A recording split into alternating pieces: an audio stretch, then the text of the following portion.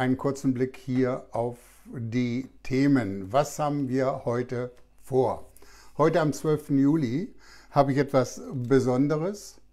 Und zwar habe ich heute Vormittag eine Voraufzeichnung gehabt mit einem Arzt, der mir in einem fast zwölfminütigen Beitrag über seine Erlebnisse bei der Kenntnisprüfung in Münster berichtet. Äh, er hat sie bestanden, zusammen mit vier weiteren Ärzten. Es gab fünf Prüfungsteilnehmer.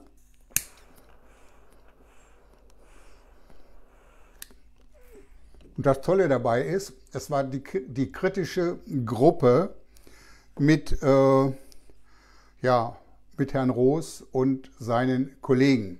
Aber das kommt gleich. So, was haben wir noch? Dann kommt ständig die Frage, die ich gerne mal beantworten möchte, was ist eigentlich mit der Kenntnisprüfung, äh, mit der Fachsprachprüfung? Wo ist diese Fachsprachprüfung gültig? Wo kann man sie verwenden? Und ähnliches mehr. Also es geht im Moment ein bisschen durch die Foren durch und das auf allen Seiten, dass gefragt wird. Ich habe ja jetzt eine die Fachsprachprüfung in einem bestimmten Bundesland bestanden und äh, habe eine Berufserlaubnis erhalten. Wo ist diese Berufserlaubnis gültig? Ja, liebe Kollegen, das ist eigentlich relativ einfach. Die Berufserlaubnis ist nur gültig in dem Bundesland, wo Sie den Antrag gestellt haben. Also Sie können nicht in Hannover eine Berufserlaubnis beantragen und dann mal einfach sagen, ich gehe jetzt nach Hessen äh, und mache dort weiter. Das funktioniert nicht. Eine Berufserlaubnis wird durch die zuständige Approbationsbehörde herausgegeben und ist nur in dem Land gültig und oft auch auf eine bestimmte Arbeitsstelle oder eine bestimmte Klinik bezogen.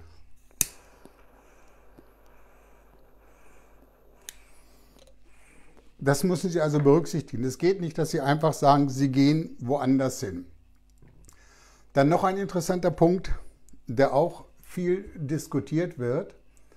Und zwar sagt das Gesetz sowohl in der Zahnheilkunde als auch bei den Humanmedizinern, das Gesetz sagt sinngemäß, vor Approbationserteilung muss die Gleichwertigkeit geprüft werden. Das kennen wir ja alle, das führt ja dann zur Kenntnisprüfung und ähnlichen Sachen. Und dann steht dort, und als letztes muss der Mediziner die ausreichenden Deutschkenntnisse nachweisen. Und dann gibt es im Gesetz einen interessanten Punkt, dass es heißt, der Nachweis der gleichwertigen Berufserfahrung oder praktisch die beruflichen Kenntnisse, hat vor der Feststellung der Sprache, der sprachlichen Fähigkeiten zu erfolgen. Es kann sogar ein Bescheid darüber verlangt werden, dass die medizinische Gleichwertigkeit vorhanden ist, man höre und staune, und dass man dann erst im zweiten Schritt die sogenannte Fachsprachprüfung oder die Fachsprachkenntnisse nachweist. Jetzt der Hinweis für Sie. Was bedeutet das? Wenn die Behörde sagt, Sie werden zur Kenntnisprüfung nur zugelassen, wenn Sie vor die Fachsprachprüfung abgelegt haben, dann ist das strittig. Das stimmt nicht mit dem Gesetz überein. Es ist ganz einfach, wenn Sie in die Kenntnisprüfung reingehen und Sie beherrschen die Fachsprachprüfung, äh, die Fachsprache nicht, dann ist in dem Augenblick die Kenntnisprüfung schon beendet. Das sollten Sie wissen, wenn die Behörden Sie darauf hinweisen.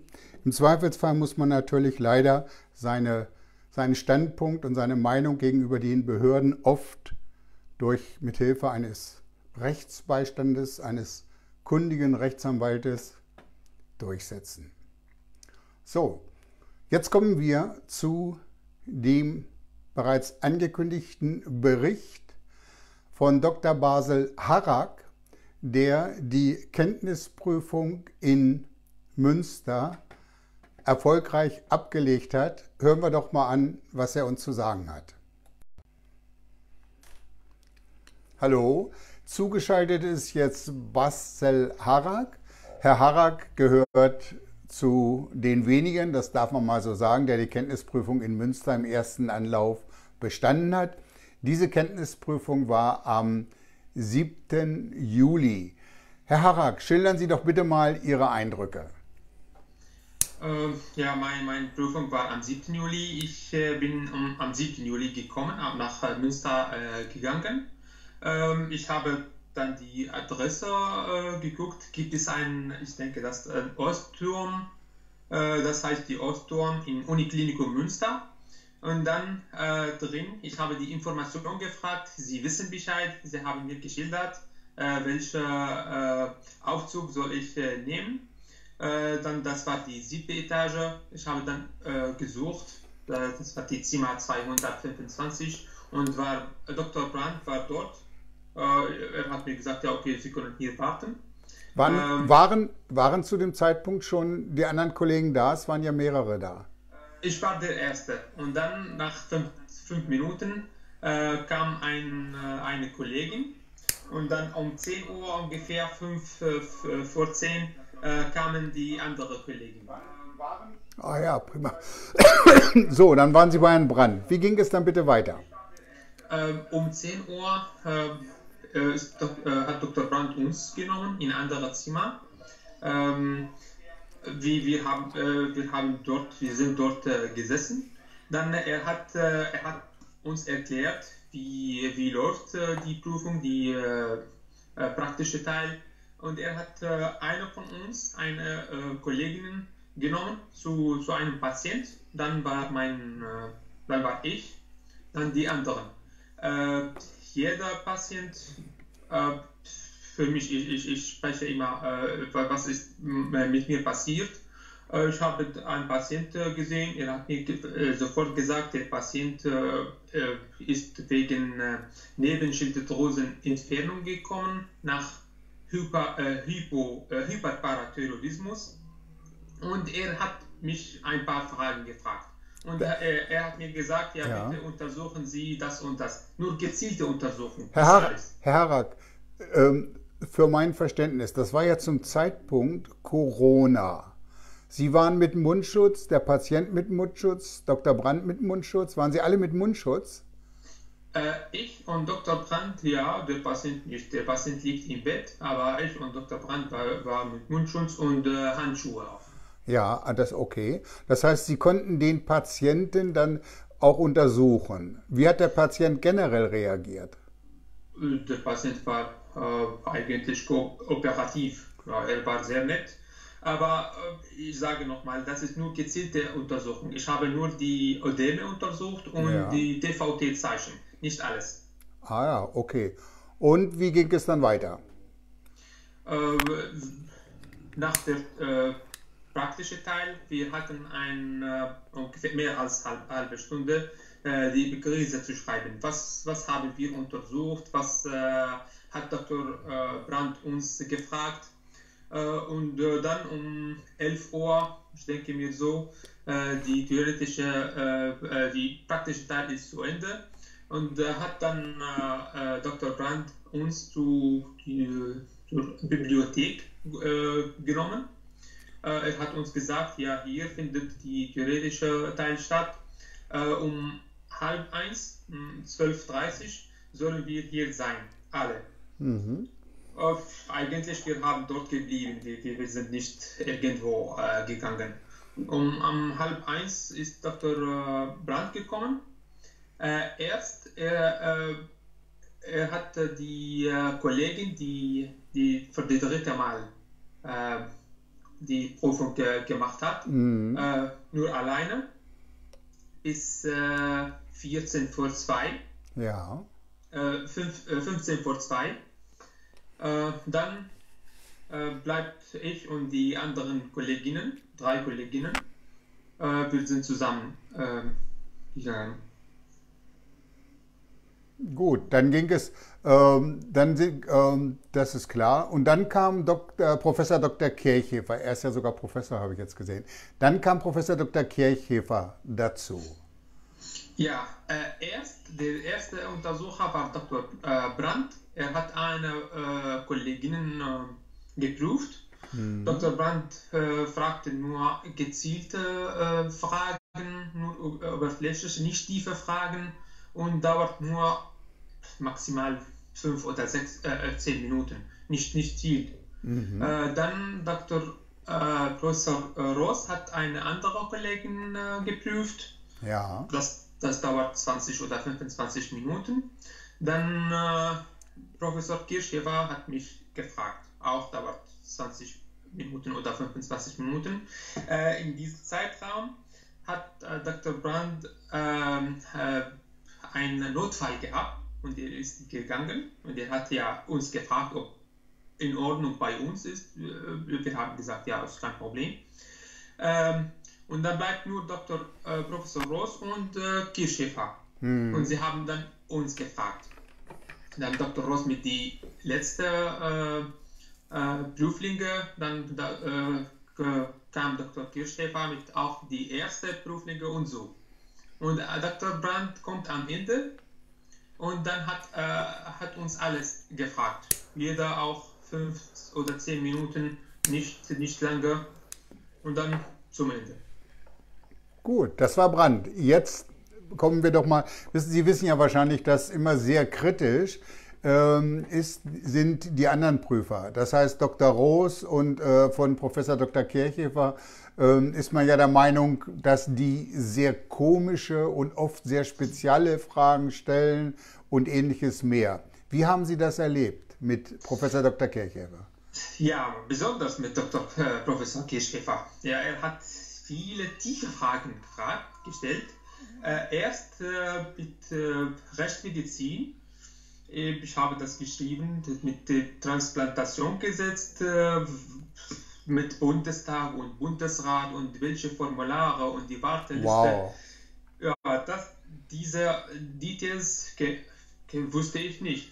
Äh, ich war eigentlich sprachlos. Ich kan äh, kannte, nur, ich kannte nur die Definition und äh, wann wurde die, die, äh, der Gesetz gestellt? Um 1997. Aber die anderen, ja, ja nicht. Und ich wusste auch, dass äh, zwei Ärzte sollen die Patienten untersuchen, die, die Tod feststellen, äh, um die Organe zu entnehmen.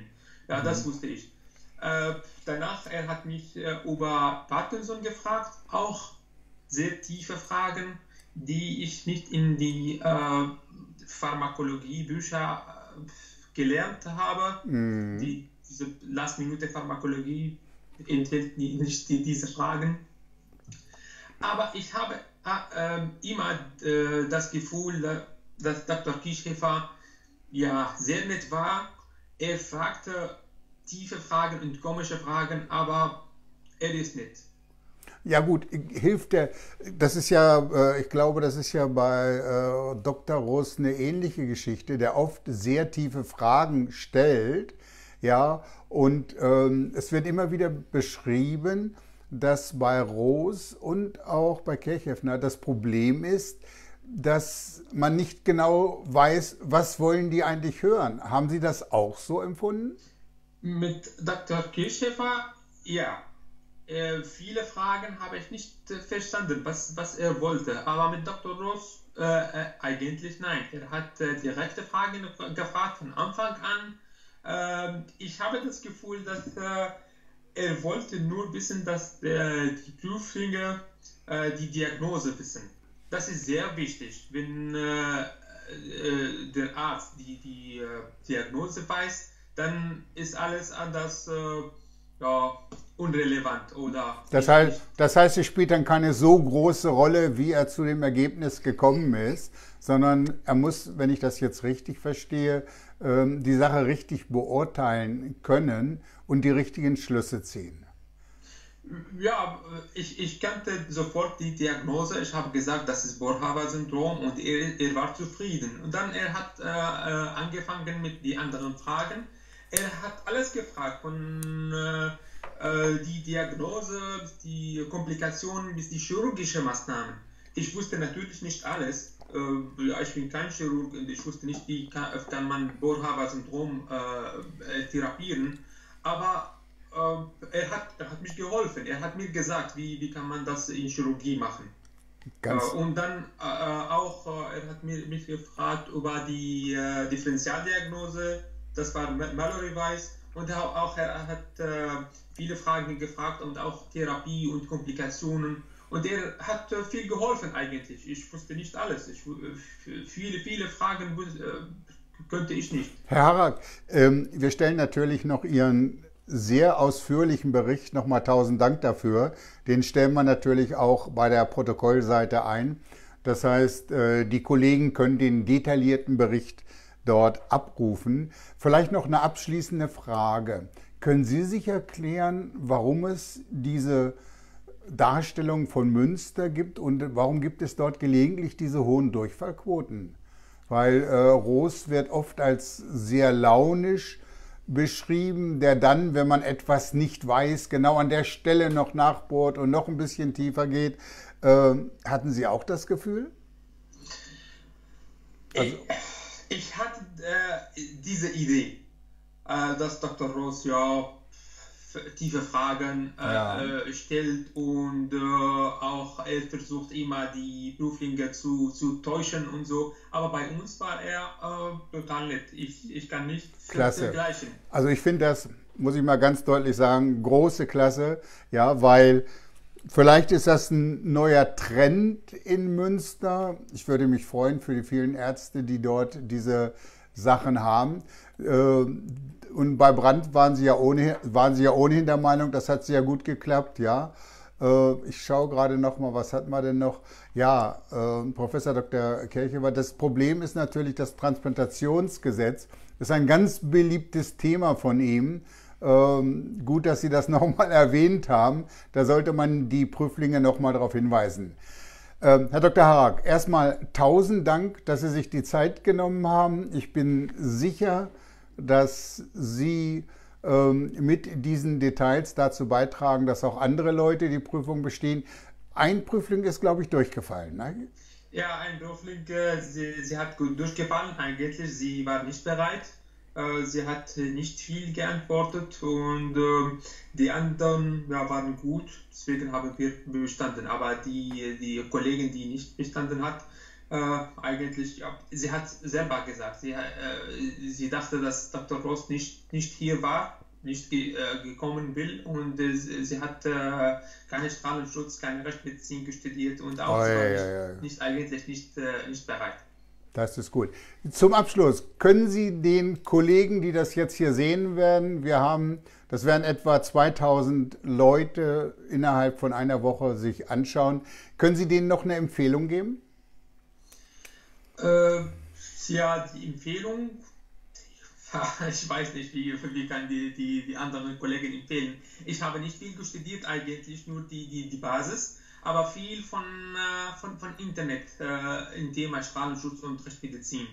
Ähm, die Chirurgie und innere Medizin nicht tief hier studiert, und aber nur die, die Protokolle, was die, in die Protokollen steht, ich habe äh, tief äh, gelernt auch mit der Chirurgie, zum Beispiel die äh, Aortenruptur oder Aortendissektion, äh, das ist ein lieblingstes Thema bei, der, Herr, bei Professor Ross. Ich mhm. habe viel gelernt von, von Aorta und so.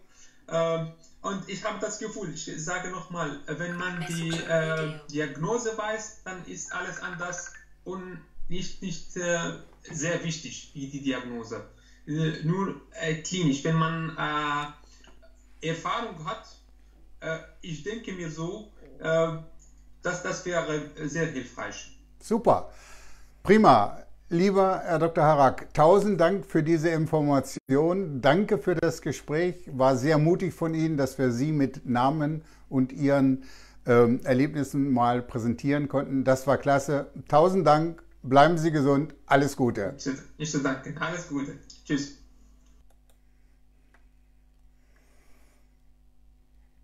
Ja, schönen Dank nochmal äh, an Dr. Harak für diesen Bericht.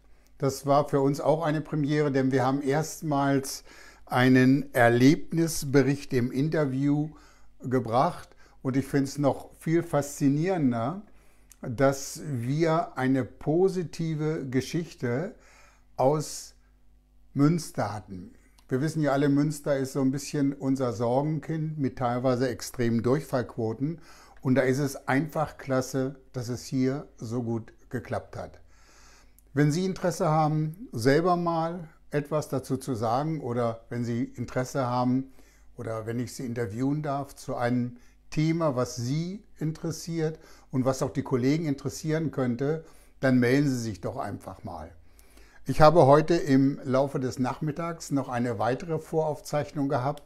Und zwar hatte ich unseren äh, Zahnmedizin-Experten Klaus Simon dazu befragt, was denn die Änderung der zahnärztlichen Approbationsordnung ähm, bringt, welche Veränderungen sich für die Kenntnisprüfung und die anderen Sachen ergeben. Das ist ein längerer Beitrag geworden, auch äh, von mehreren Minuten. Den werde ich Ihnen Anfang der Woche äh, hier präsentieren und ihn natürlich auch bei YouTube reinstellen.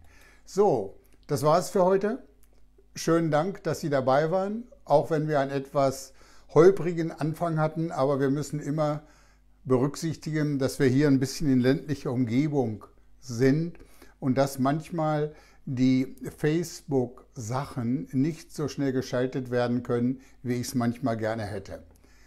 Ich wünsche Ihnen alles Gute, bleiben Sie gesund. Wenn Sie Fragen haben, rufen Sie mich an oder schreiben Sie mir eine E-Mail. Ich freue mich darauf, wenn Sie nächsten Sonntag wieder dabei sind.